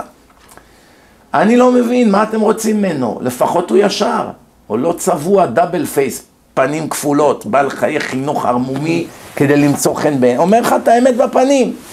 במקום לצעוק ולנבוח ולצרוח, שב איתו, תבוא בוא נשב, אני אראה לך שהתורה היא מן השמיים. כי להבדיל מהרבה אחרים, הוא גם יסכים לצפות. איך אני יודע? אני לא מכיר אותו אישית. איך אני יודע שהוא ישר? פשוט מאוד. ראיתם את הסרט אה, הרצל והציונות? חצי שעה מהרעיונות שם ראיינו אותו. חצי שעה הוא הגן על הזכויות של החרדים, בזמן שהוא בכלל, דת, בכלל חילוני הדוק. אין שום קשר בינו לבין הדת. למה? כי הוא אמר, בכל מדינה אחרת, לדת יש זכויות, רק פה רומסים את הדתיים. איזה מין דמוקרטיה? הוא דיבר מהצד של הדמוקרטיה. הוא דיבר בעד החרדים יותר טוב מכל מה שחבר כנסת חרדי דיבר אי פעם. והוא בכלל אומר לך, אני אוכל חמץ בפסח. למה? כי הוא אמר, יש לנו חוקי הדמוקרטיה, קיבלנו את הדמוקרטיה על עצמנו. דמוקרטיה יש זכויות לכל מגזרי הציבור, נכון? למה רק לחרדים אין זכויות? למה כל הזמן מכפישים אותם? למה כל הזמן נלחמים בהם? הרי יש להם גם זכויות. הנה, תראה, בשוודיה קרה ככה, כולם קיבלו את זה. פה ככה רוצים לשחוט אותם. הוא הביא דוגמאות. הוא דיבר בעד החרדים. למה הוא דיבר? הוא לא חרדי. אם תשאל אותו, אתה רוצה מדינה עם חרדים או לא, הוא יגיד, רוצה מדינה בלי חרדים. אני מעדיף שכולם יהיו חילונים. אבל מה, עכשיו שקבענו שיש חוקי הדמוקרטיה וגרים כאן חרדים, רק בגלל שזה לא מוצא חן באידיאולוגיה שלי, אז מה, אני אשבור את חוקי הדמוקרטיה בגלל שאני לא אוהב אותם? או שאני שונה מהם? שומעים? נקודה רבותיי, הבנתם את הנקודה? זה היושר שלו לפי מה שהאכילו אותו. זה יכול להיות שהוא בכלל תינוק שנשבע, הוא לא יודע כלום מהחיים שלו, מה, הוא היה בישיבה? אבל אחד כזה, דרך אגב, בשעה, שעתיים שיחה, אין לי בכלל ספק אם אני יושב איתו שעה, שעתיים, שהוא המום. המום. הנה ישבתי עם אמנון לוי, פנים אמיתיות, מערוץ 10. ראיין אותי שעה וחצי. פיור אתייסט, לא? כן, פיור אתייסט, 30, הוא אומר לי, איך, באמצע הרעיון, יש לי את הרעיון מצולם. את כל הרעיון גם אנחנו צילמנו, לא רק הוא. איך שהתחיל הרעיון, הוא אומר לי, אין לך מה לנסות לשכנע אותי בכלל. אני כל החיים שלי אתאיסט. בן אדם קרוב לגיל 60 להערכתי, כל החיים שלו הוא, הוא חילוני גמור, אתאיסט. יש חילוני ויש חילוני. יש חילוני מאמין מסורתי, לא שומר, ויש חילוני אומר לך לא מאמין בכלום, לא בבורא, לא בתורה, לא בכלום. והוא ככה בא אליי, אומר לי, אני הייתי כתב בניו יורק לחרדים, הייתי בווישניץ, הייתי במונרו, הייתי בסאטמר, אני עושה תוכניות, אני נפגשתי עם כל הרבנים, כולם דיברו, אין מה לבזבז את הזמן. אני אתאיסט. תוך כדי הרעיון, אני ברוך השם למדתי טוב שפת גוף, ואני תמיד, כשמדבר עם בן אדם, אני כל תנועה שלו כבר יודע מה הוא חושב, בגלל התנועות שלו מסגירות אותו, הוא לא יודע, זה בא מהתת מודע. אחרי בערך שעה שדיברנו, פתאום קלט אצלי, אצלו, שהייתה אצלו נקודת שבירה. אמרתי לו, עכשיו ראיתי אצלך נקודת שבירה. הוא אמר לי, אתה צודק. התפלא, שכאילו, עכשיו, הרגע. אומר לי, אתה צודק. שלושה ימים אחרי מצאו אותו בקבר של צדיק קורא תהילים עם כיפה על הראש. בכל הארץ בפייסבוקים. שומעים כזה דבר? למה? יכול להיות שיש לך, הרבה מהחילונים האלה, יש להם נקודת אמת של עצמם. הם לא מוכנים לשבור, לעבור על האמת שלהם. אתה יודע כמה פעמים חילוני, אמרתי לו, תלחץ לי יד, תבטיח לי, בוא נ... הוא לא הסכים ללחוץ יד. אז מה אתה מפחד? אומר, אם אני לוחץ לך יד, אני לא אוכל לחיות עם עצמי. אבל מה, אני לא אהיה שם לראות. אתה יכול לשקר אותי, אני, מה, אני, אני לא יודע אם תעשה או לא. הוא לא הסכים ללחוץ יד. למה? באמות המידה שלו, יש לו יושר מסוים, והוא אומר, אני לא עובר על החוקים של עצמי.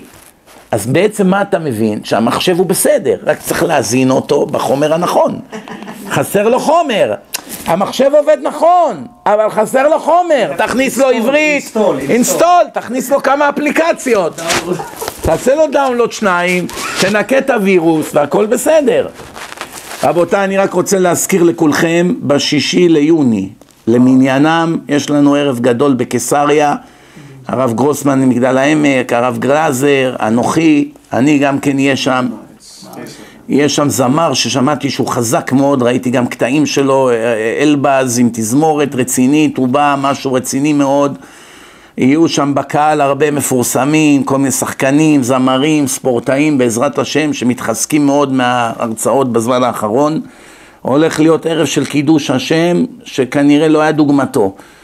אז כל אחד, נא להזדרז, יש כרטיסים במחיר סמלי, גם מחלקים חמישה דיסקים לכל אחד בכניסה חינם, עם שלושים הרצאות על כל אחד. מי שלא יכול לשלם את הכמה שקלים האלה שמחייבים על כרטיס כדי לכסות את האירוע, יכניסו אותו גם בלי לשלם. זה לא המטה, זה חלילה לא למטרות ביזנס, רק מנסים לכסות כמה שרק אפשר מעלות המקום.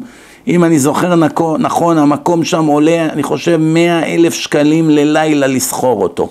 רק לסחור אותו, ויש עוד אבטחה, וכל מיני הוצאות, ופרסומים, ולא, לא, אני לא מבין בזה, אני לא מעורב בצד הכלכלי שם, אבל בעזרת השם נמלא אותו, נעשה קידוש השם, נמסור מסר לכל העם.